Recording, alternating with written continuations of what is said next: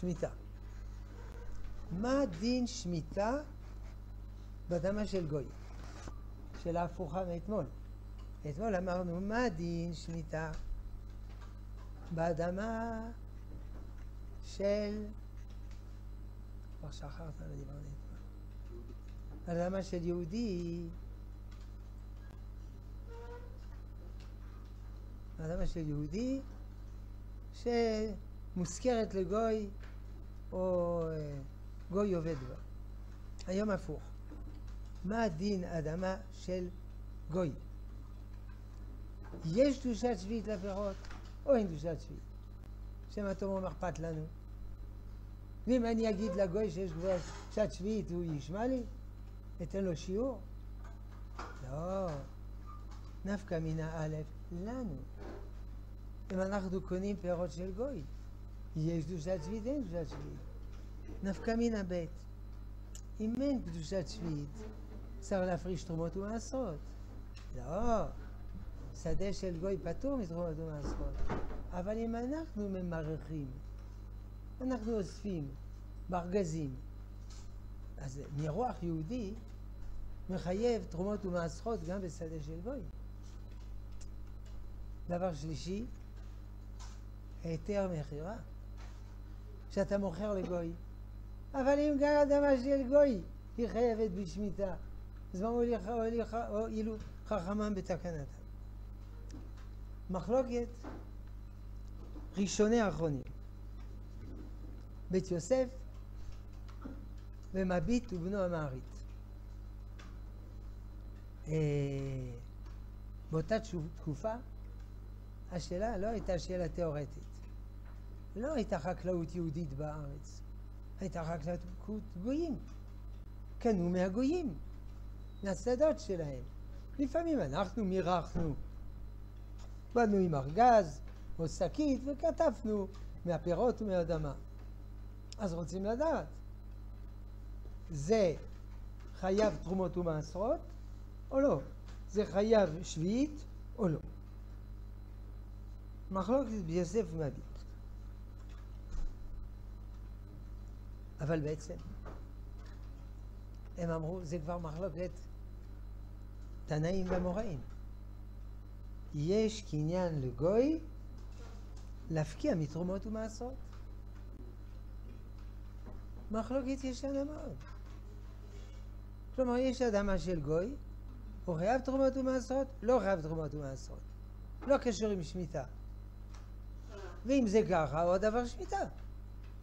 כלומר, האם זה מפקיע מצוות תלויות בארץ, או לא מפקיע. בעלות של גוי. מחלוקת תנאים, מחלוקת המוראים, ים של הוכחות. והתנחלתם אותם לבניכם אחריכם לרשת אחוזה. לרשת, אחוזה. אומרת הגמרא.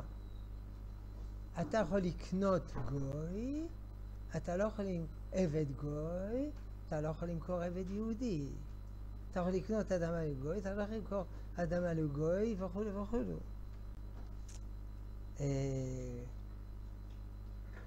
דגנך, אומרים חז"ל, דגנך ולא דגנוכי. דגנך אתה חייב, נהיה חייב. יש שאומרים לו, כלומר לפי זה אי אפשר להפקיע. יש שאומרים אפשר להפקיע תנאים הרעים, והארץ לא תימכר לצמיתות. משמע שאם מכרת זה לצמיתות, אז זה מפקיע. והארץ דגנך ולא דגן נוחי. לא, זו הוכחה הפוכה. דגנך ודגן נוחי, משמע דגן נוחי הוא פטור. אם כן מחלוקת. רוב הפוסקים אין קניין לגוי להפקיע. כלומר, זה שמיטה. אז לא צריך להפריש תרומות ומעשרות, אבל יש קדושת שביעית. וכל היתר המכירה נופל. אבל בכל זאת אמרת שזה מחלוקת. הבית יוסף סובר, מוכיח, מהרבה הוכחות, שיש קניין גוי להפקיע. אה, מביא כמה רמב"מים, מוכיח מרמב"מים, אל תדאגו. גם הבעבית והמערית ראו את הרמב"מים האלה, גם ראו דברי הבית יוסף, וגם חלקו עליו, הוא חלק בחזרה, אה,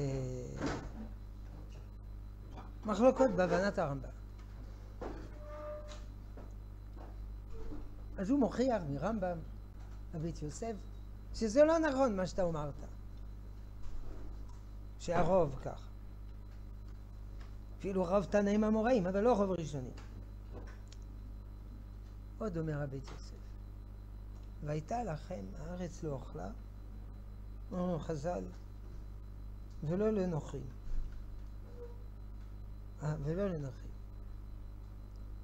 האם הכוונה לא לתת לאכול לגויים, או והייתה לכם הארץ לא אוכלה, והייתה הארץ לא לנוחים. כלומר, לא לנוחים זה הולך על הארץ, או הולך ל... זה הולך על הארץ. אם כן, אתה רואה שאין עליהם שבת הארץ. הוכחה שלישית, הכי חזקה של הבית יוסף. גם אם אתה אומר שאין קניין לגוי להפקיע מצוות להיות בארץ, אבל בימינו מצוות להיות בארץ זה מדרבנן. ואם זה, למה זה מדרבנן? חקירה יום אחר. לא כולם. מיעוט פוסקים מדאורייתא, מיעוט פוסקים שום דבר, רוב הפוסקים מדרבנן. אם זה מדרבנן, אפשר להפקיע. הוא מביא הוכחות. גם הגר"א סובר ככה. זוכרים? סוריה אין שביעית. למה אין שביעית? כי זה כיבוש יחיד. דוד, יוזמה אישית. כיבוש יחיד זה מדרבנן. מצוות להיות בארץ. אתה רואה? זה מדרבנן וזה מפקיע שביעית. טוב, מחלוקת בין מחלוקת תנאים, אמוראים, פירושים בראשונים, מחלוקת בית יוסף והמביט. קדושת שביעית או תרומות ומעשרות אם זה מרוח יהודי. הלכה כבית יוסף, שזה מפקיע. איך אתה יודע? כותב המביט בעצמו, מכבר שש מיתות אני ניחר גרוני לומר שיש לזה קדושת שביעית ולא להפריש תרומות ומעשרות. וכל שנה אני מוסיף עוד הוכחות, עוד הוכחות, עוד הוכחות. אבל לא שומעים לי, לא נתפשט. ואם אני ממשיך לומר את זה, אומרים, אה, תקנה חדשה. אתה מתקן תקנות חדשות, אסור לתקן תקנות חדשות שהן רוב ציבור יכול לעמוד בהן, ואי אפשר לעמוד בזה. תרומות, מה, וכל זה. גם הבית יוסף אומר, שהמביט הוא המערית, לא המערית, אמר שיש לזה קדושת שביעית ולא להפריש תרומות ומעשרות. אומרת, לא להפריש תרומות ומעשרות, יכול להיות עבירה. והוא אומר, בבתי הכנסת מיכו, קודם מיכו בידו כל חכמי הדור.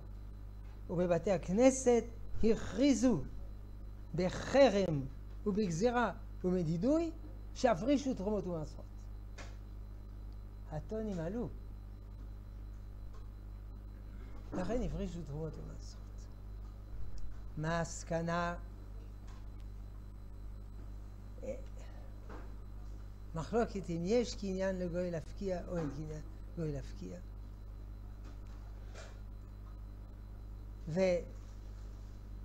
יש הוכחות לכאן ולכאן אצל הראשונים והאחרונים, אבל בפועל מפקיע במיוחד בעזרת הטיעון ששמיטה בימינו זה מדרבנן. למה זה מדרבנן? זה יהיה חקירה אחרת. אה, יש עוד שאלות קצרות. האם יש חיוב לגברים לטבול במקווה כל יום? לא, אבל ראוי. גם הרמב"ם, שכותב שבטלה תקנת עזרא, הוא אומר, לא ביטלתי אני אישית, זה מובא בבאר היטב או משהו, פעם אחת טבילה. לפי זה, לא, זה טבילת עזרא, כשעשה טומאה מגופו. כל יום זה כבר חומרה. אבל כשיוצא טומאה מגופו, זה הרע מגופו. הרבה אומרים שכן. פעם זה היה נורא קשה, עכשיו יש מקווה ממול וגיור הזה. כן.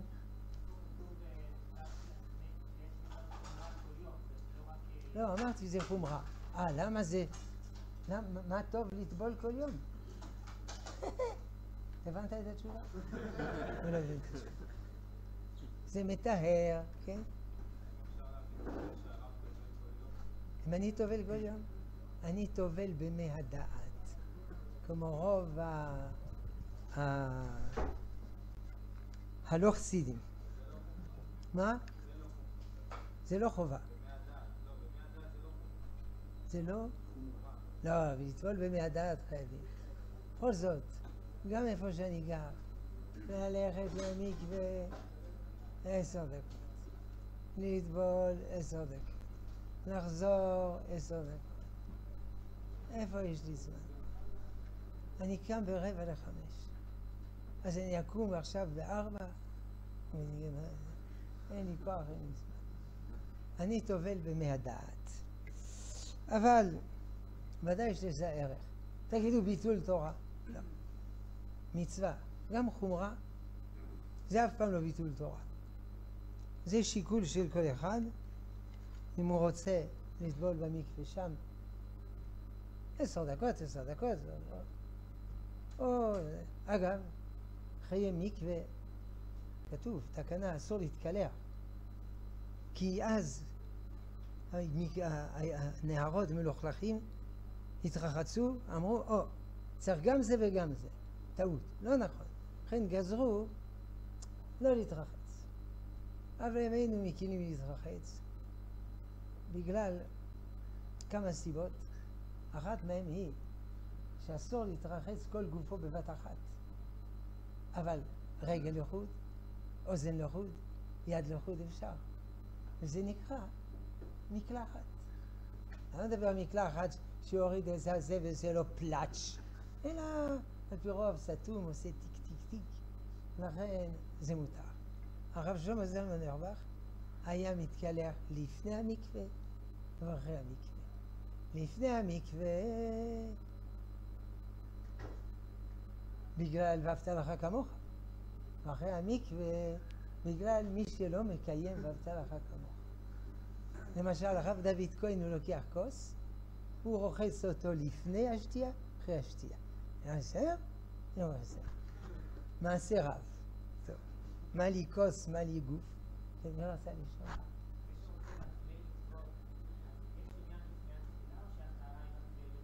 ודאי, יש עניין לפני התפילה, אבל אפשר גם אחרי התפילה. זה בסדר. ודאי, ככה הוא מתפלל. בתראה, יש עוד כולה, שכחתי. תשעה קבין. תשעה קבין, זה יוצא 12 ליטר. כמה זה דלי? 20 ליטר. חצי, קצת יותר מחצי דלי, לוקח חצי דלי, פלאץ', וזהו. אפילו המוראים תיקנו, דלי תלוי ו' חבל למטה מהדלי, וילופ, פלאץ', הבנתם? גם בתנועת הצופים זה ככה. ביער, דלי פלאץ', כן?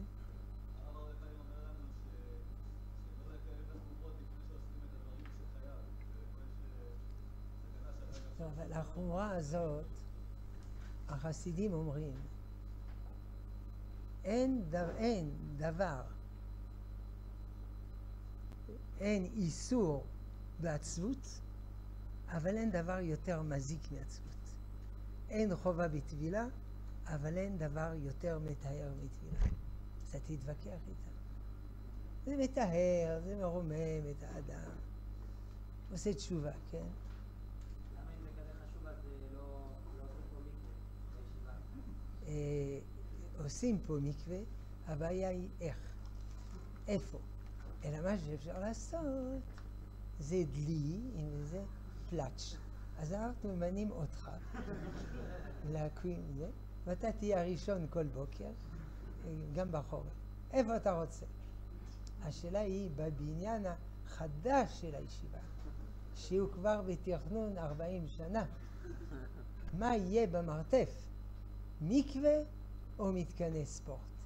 זה החקירה. וכיוון שהיא לא הוכרעה, בינתיים לא בונים את הבניין החדש של הישיבה. איפה אתה רוצה לשים פה מקווה? בקושי יש איפה לשבת. או אפשר איפה שאתה יושב, מקווה. רעיון. נכון. ראוי שיהיה מקווה. כן. לא, אבל זה גם שווה הרבה. יש לזה גם ערך גדול. שזה ייגע בכל הגוף? מה? תשעה קווים בכל הגוף, אבל זה נוגע בכל הגוף. גם אפשר מים פושרים תשעה קווים, לא חייבים קווים. תשעה קווים. תשעה קווים זה לא בשביל אישה צריך לטבול, או בשביל בית המקדש, אבל בשביל תפילת עזרא, תשעה קווים. הרב, בשבת יש הלכות שצריך לדעת למקווה? שבת יש? שבת צריך להיזהר. לא לסחוט את השיער, לא לסחוט את המגבת. בימינו זה הכל, כי אנחנו לא טובלים ביער ויטפטף טיפות מים. סחיטת השיער, סחיטת המגבת. לגבי שבת, מים חמים קרים, הכל מסודר, אוטומטית. אה, בבתים. מגבת, אה, אה, איך לנגב את השיער. עדינות, עדינות. או איך לנגב את הפאות. לוקחים מגבת, מגלגלים את זה בעדינות. לא, יש לך כבר סוחט. עדינות. אז זה לא סוחט את השיער. יש גם מחמירים שאין להם שיער. הולכים כמו כזה. אה, כל אחד חשבונו. אמנם זה חומרה, אבל יש חומרה ויש חומרה. ביטלו את החומרה הזאת בגלל שאנשים לא עמדו בה, אם רוב ציבור יכול לעמוד. ויש אנשים, מוסיף להם טהרה יש אפילו אומרים, בגליל, אה, אה, אה, בחוץ לארץ אין ברכת כהנים לאשכנזים. למה? אומר הרמ"א, מביא כמה סיבות. הבית יוסף מביא סיבה, כי צריך לטבול לפני ברכת כהנים. ולטבול בחוץ לארץ כל, כל, כל יום זה בלתי אפשרי. בחג ממילא טובלים, לכבוד החג. זה לא חובה, אבל ראוי.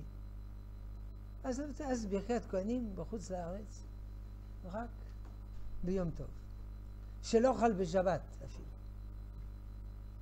עכשיו, בגליל אין ברכת כהנים כל יום. שבת יום טוב. שמעתי פירוש, ובירושלים כן.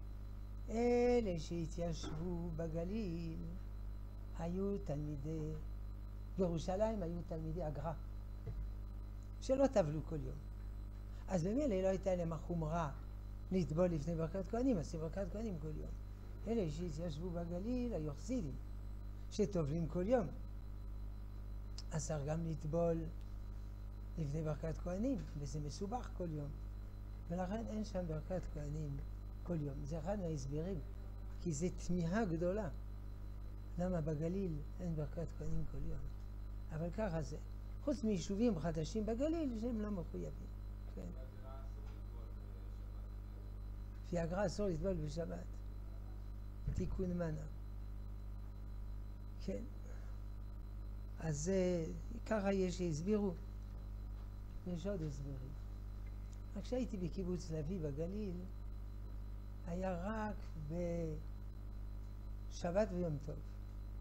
הוספתי חול המועד וראש חודש. כל יום שאומרים הלל. ככה הייתי בקשת, יישוב חדש. ברכת כהנים כל יום. טבריה, אשכנזים, אין ברכת כהנים כל יום. באים לשם אשכנזים, מקבלים התקף לב. זה העונש שלהם, שהם לא ספרדים. הגר"א רצה לחדש ברכת כהנים כל יום, בחוץ לארץ. בדיוק באותו יום הייתה תקלה, שרפה. מן השמיים רמזו לו שלא. אבל כשאני אשכנזי, בחוץ לארץ, עכשיו בצרפת כמעט כולם ספרדים. כל האשכנזים התבוללו, ספרדים בדרך. אז uh, יש ברכת כהנים בשבת, אז אני נושא כפיים. מנהג המקום. ספרדים. בסדר. כן, בגלות זה שם uh, אסון עולמי. עד כאן היום.